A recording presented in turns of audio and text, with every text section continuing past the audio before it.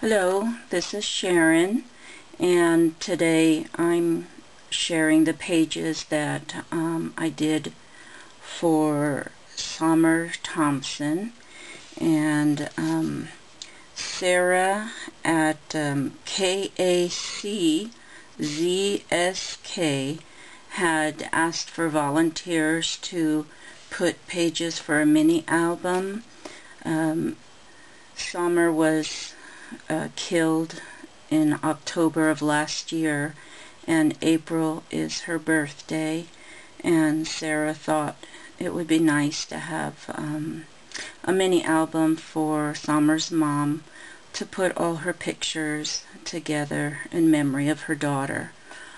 And Somer loved purple, and I know many people have shown their um, pages we have all different shades of purple.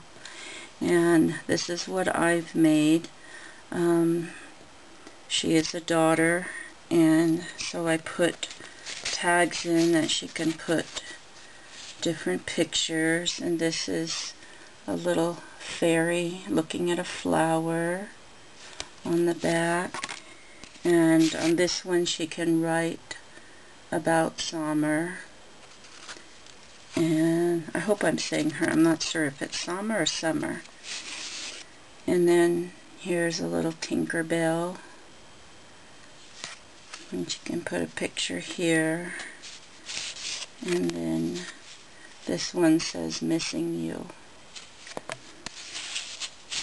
And then on the other side, I put um, this frame and she can put a picture in here it says sweet darling my girl and I have a little angel for Somer. And then she can put her picture there and have a few little prima flowers here. This was a very hard project to do. I cannot imagine losing a child and my heart really goes out to this family. And I hope that they are getting all the support they need to heal um, from this tragedy. And hopefully this mini will help bring all the beautiful memories of Somer together. And then I made this little card for her